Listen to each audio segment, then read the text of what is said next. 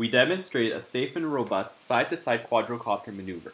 The quadrocopter must move to between the pylons on the right side, to between the pylons on the left side, and back and forth repeatedly in this precise sequence, while not exceeding the outer pylons.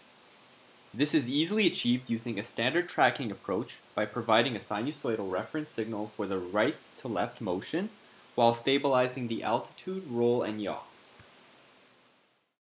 What happens under unmodeled disturbances? Can the sequence of alternatingly reaching the right and left sides be maintained? During the disturbance hold, the reference continues to pass, and letting go now results in failing the desired sequence. Disturbances also yield unpredictable and unsafe behavior. As a result of the push, the quadrocopter achieves a maximum speed of 2.4 meters per second, much higher than the nominal maximum speed of 1.5 meters per second. Now we show our new method, which uses the reach control approach to handle the right to left motion and does not require a predefined signal to track.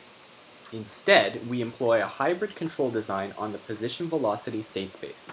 For the side-to-side -side motion, the state must evolve within the shaded blue region shown in the plot, where we have defined separate affine feedback controllers for each triangle.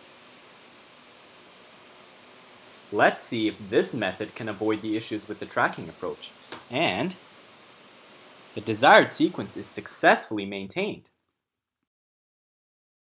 And, unlike the tracking approach, the quadrocopter's maximum speed is relatively unaffected due to push disturbances.